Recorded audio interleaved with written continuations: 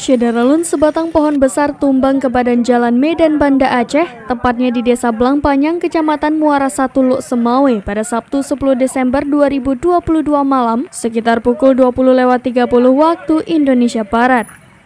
Aksesnya arus lalu lintas macet selama 2 jam. Berdasarkan informasi yang dihimpun serampinews.com, sebelum pohon tumbang Luk Semawe dan sekitarnya sedang dilanda hujan lebat disertai angin kencang.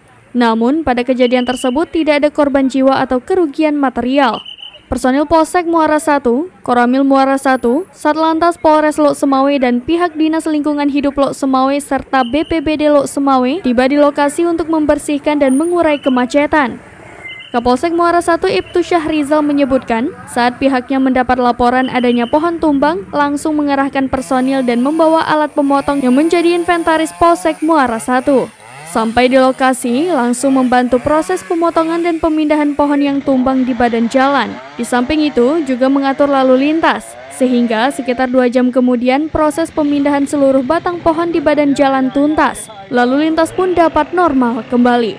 Dari Lok Semawe, Saiful Bahri, Serampinews.com